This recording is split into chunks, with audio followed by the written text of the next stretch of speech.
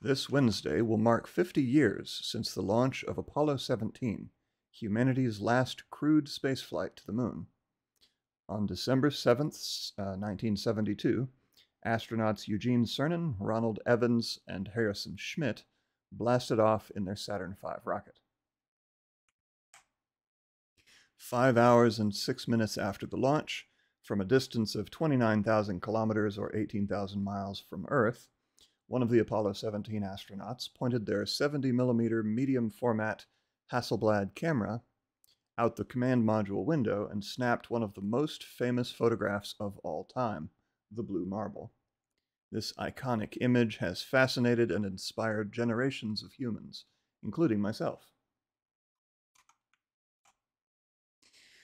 21 years ago, I created my yin yang planets image using the blue marble photo, photo of Earth and a high resolution composite image of Mars that was assembled from 102 Viking orbiter images from the 1970s, which itself is probably the most famous image of the red planet.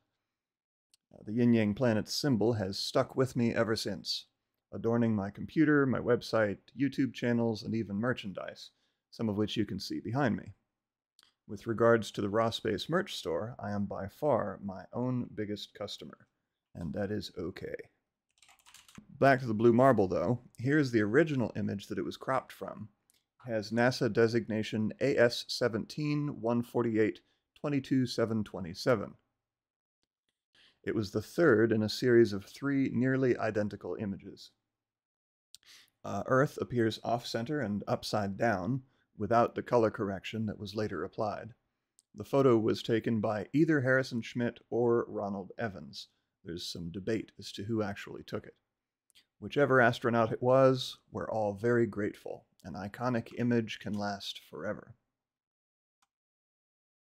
Four days after Apollo 17 launched, the lunar, the lunar module Challenger landed on the lunar surface in the Taurus Littrow Valley region, with Cernan and Schmitt aboard. Evans remained in the orbiting command module America.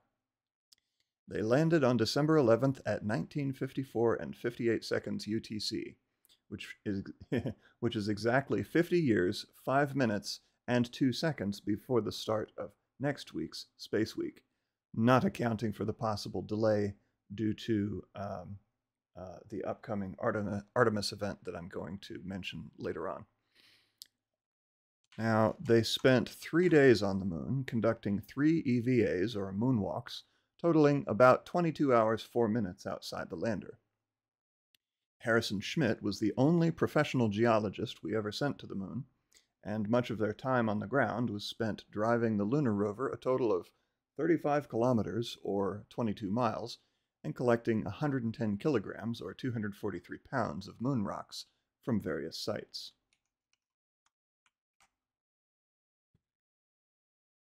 They ascended from the lunar surface on December 14th at 2254 UTC. Here we see a photo, a photo of the Mare Orientale region of the moon during lunar nighttime, illuminated only by earthshine, the sun's light reflected off of the Earth. Now, Earth is much larger and high, has a higher albedo, reflectivity, than the moon, so nighttime on the Earth facing side of the moon is still reasonably well lit, except when the moon is close to full, since from its perspective the moon would be a thin crescent. Even when the moon passes directly into Earth's shadow, uh, during a total lunar eclipse, it's still illuminated by the refracted red light of all the world's sunrises and sunsets at once. I guess the only parts of the moon that get really dark are the far side, which faces away from the Earth, and the permanently shadowed craters near the poles, like Shackleton. Even in those places, though, there's still starlight. At about 296,000 kilometers or 184,000 miles from Earth, Ronald Evan performed the third and final deep space EVA in history, retrieving the film cassettes from the service module.